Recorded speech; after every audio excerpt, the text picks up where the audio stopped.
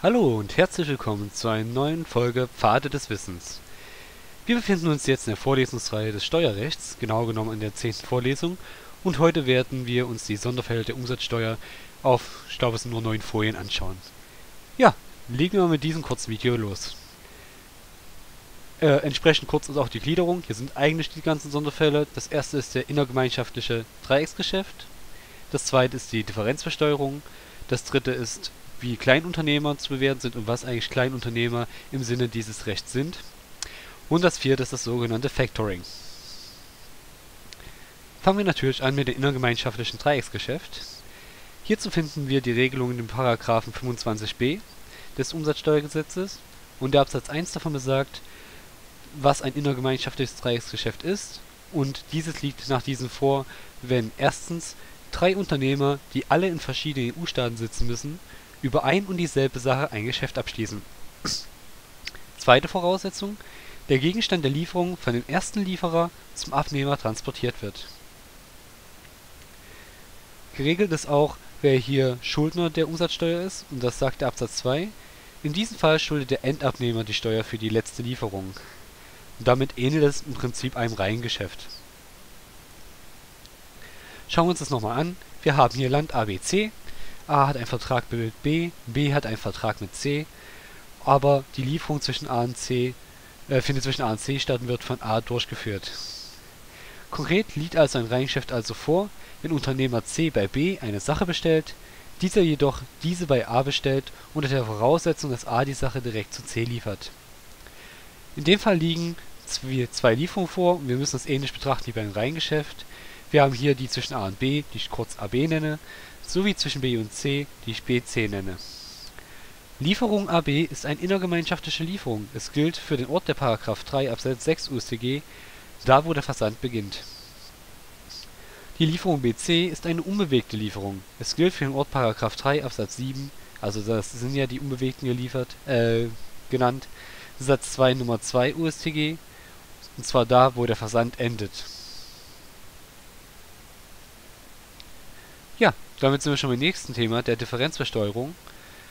Hierzu finden wir es in § 25a Absatz 3 UStG.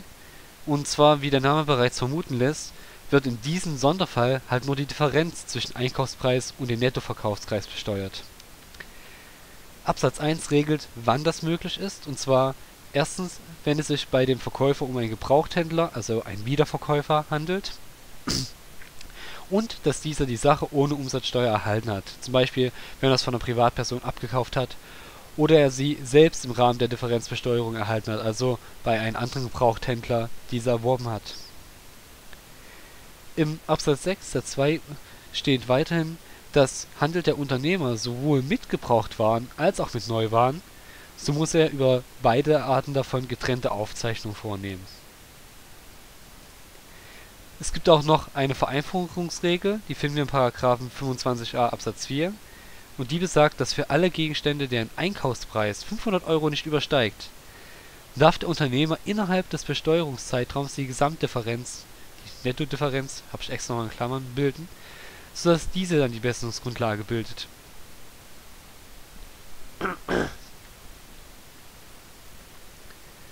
Ja dann kommen wir schon zum dritten Sonderfall, der Kleinunternehmer. Der ist in § 19 des UStG geregelt und in Absatz 1 steht, Kleinunternehmer ist, dessen Bruttoumsatz im Vorjahr maximal 17.500 Euro betrug und im aktuellen Veranlagungsjahr maximal 50.000 Euro betragen wird. Hier gibt es eine Sonderregel, die sich hier nicht so rauslesen lässt aus dem Paragraphen. Und zwar, wenn es kein Vorjahr gibt, sprich eine Neugründung vorliegt so muss der geschätzte Umsatz im Anmeldeformular angegeben werden, das sowieso, aber wenn er auf maximal 17.500 Euro geschätzt wird, so gilt der Unternehmer als Kleinunternehmer, bis er diesen Umsatz überschreitet. Vorteil des Kleinunternehmertums ist natürlich Umsatzsteuerbefreiung. Mit der Umsatzsteuerbefreiung geht aber in der Regel natürlich auch ein Nachteil einher, sie haben auch keinen Anspruch auf einen Vorsteuerabzug damit kommen wir zu § 19 Absatz 2 UStG, und zwar die Optierungsoption. Unternehmer kann freiwillig auf die Kleinunternehmerregelung verzichten, wodurch er umsatzsteuerpflichtig, aber auch vorsteuerabzugsberechtigt wird. Wann macht das Sinn? wenn natürlich der Unternehmer selbst sehr viel äh, sehr viele Einkäufe etc. tätig, also viel Vorsteuer ziehen kann, selbst auch wenig Sachen verkauft oder Dienstleistungen anbietet, dann wird er in der Regel mehr Vorsteuer abziehen können, als er Umsatzsteuer zahlen muss, würde somit eine Nachzahlung im umsatzsteuerrechtlichen Sinne erhalten. Und da ist diese Option natürlich ganz hilfreich. Und damit sind wir beim Thema 4, das Factoring. In den Steuergesetzen ist das Factoring leider nicht geregelt. Man findet dazu aber etwas im Umsatzsteueranwendungserlass, kurz UST-AE, und zwar dort in der Nummer 2.4. Und aus der habe ich jetzt mal einiges rausgeschrieben, ganz grob. Und zwar bei dem Factoring handelt es sich wirtschaftlich um den Weiterverkauf von Forderungen an einen Factor, welcher damit auch das volle Risiko trägt. Hier rechts sehen wir das mal dargestellt. Wir haben ABC. B ist der normale Unternehmer, der eine Forderung gegenüber A hat, sprich äh, A, B ist der Lieferant von A. Und C ist der sogenannte Factor, der die Forderung von B abkauft. Interessant ist ja, äh, im Prinzip verkauft man ja eine Forderung weiter. Das heißt, wenn man das so hört, weiterverkauft, dann denkt man erstmal an eine Lieferung. Aber wenn man weiter nachdenkt, sehen wir, dass es steuerlich betrachtet eine sonstige Leistung, und zwar nach 3 Absatz 9 UStG vorliegt, weil ja der Faktor dem Unternehmer selbst eine sonstige Leistung erbringt. Im Prinzip ist das ja sowas wie ein Insolvenzunternehmen und ähnliches. Sie tun ja nur die Forderung für ihn in gewisser Weise eintreiben. Wichtig beim Factoring ist, dass die Bemessungsgrundlage die Differenz zwischen der Forderung und den Verkaufswert der Forderung an den Faktor darstellt. Ansonsten gelten hier die üblichen Regelungen für sonstige Leistungen. Machen wir ein bisschen Übungen dazu. Aufgabe lautet hier, gebt bei den unten stehenden Sachverhalten folgendes unter Angabe der zutreffenden Gesetzesstelle an. Und zwar Leistungsart, den Leistungsort, die Steuerbarkeit, Steuerpflicht, Steuersatz, Bemessungsgrundlage, Steuerhöhe, Entstehung der Steuer und Steuerschuldner. Kleiner Hinweis, in allen Fällen liegen natürlich ordnungsgemäße Rechnungen vor, ansonsten können wir hier ja gar nicht arbeiten. Sprich das volle Programm, und zwar für ein paar Sonderfälle. Ich wünsche euch viel Erfolg. Wie ihr meine Videos kennt, am besten ihr pausiert, ich springe zur Lösung, ihr lasst es dann weiterlaufen und wir vergleichen mal, was am Ende rauskommt. Viel Erfolg! Okay, schauen wir uns mal die Lösung dazu an. Also, wir starten natürlich mit Aufgabe 1 und beginnen das Schema ist ja bekannt mit der Leistungsart. Hier greifen wir auf 3 Absatz 1 des Umsatzsteuergesetzes zurück und können sagen, hier liegt eine Lieferung vor. So, dann kommt hier der Leistungsort. Das ist nach 3 Absatz 6 des Umsatzsteuergesetzes Augsburg. Steuerbarkeit, hier greift 1 Absatz 1 Nummer 1, ist steuerbar, da in Deutschland gelegen.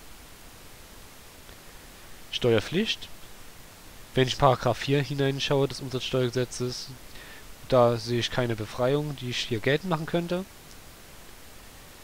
Steuersatz finden wir in 12 Absatz 1 Umsatzsteuergesetz ist 90% der Regelsteuersatz. Die Bemessungsgrundlage nach 25a Absatz 3 Umsatzsteuergesetz sind 50 Euro.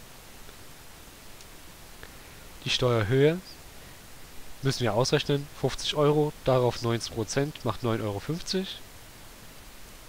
Die Steuer entsteht nach § 13 Absatz 1 Nr. 1a Umsatzsteuergesetz im August 2016. Die Steuerschuld liegt bei K-Put nach § 13a Absatz 1 Nr. 1 UStG und ein Vorsteuerabzug, hier finden wir das in § 15 Absatz 1 Nr. 1 UStG. Vorsteuerabzug hat der Klaus eingetragener Kaufmann Okay, zweitens. Die Leistungsart ist hier eine sonstige Leistung nach § 3 Absatz 9 UStG. Der Leistungsort liegt in Kiel nach § 3a Absatz 3 Nr. 1c. Steuerbar ist es, weil hier wieder der § 1 Absatz 1 Nr. 1 greift, denn es liegt ja in Deutschland. Steuerpflicht § 19 Absatz 1 Sonderregel steuerfrei, da es sich um einen Kleinunternehmer handelt. Steuersatz keine Angabe notwendig, ist ja steuerfrei, Was wir allerdings machen müssen, ist die Bemessungsgrundlage dennoch anzugeben. Die Regelung ist im Paragraph 10 Absatz 1 UStG zu finden, sind 2000 Euro. Ja, und der ganze Rest, den können wir uns ganz einfach mal gesagt schenken, da das bei steuerbefreiten Sachen nicht weiter notwendig ist. Okay, damit bin ich durch. Wie versprochen war das Video relativ klein.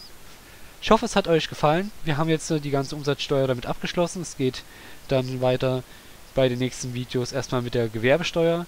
Danach werde ich den Rest der Einkommensteuer machen. Da hatte ich ja nur die erste Hälfte. Und im Rahmen der Steuergesetze werde ich dann zuletzt jetzt daraufhin folgend noch machen die Körperschaftssteuer, die aber relativ einfach ist, wenn man die Einkommensteuer verstanden hat. Okay, ich verabschiede mich, wünsche euch einen wunderschönen Tag, wunderschönes Wochenende. Ich hoffe, wir hören uns bald wieder. Ciao!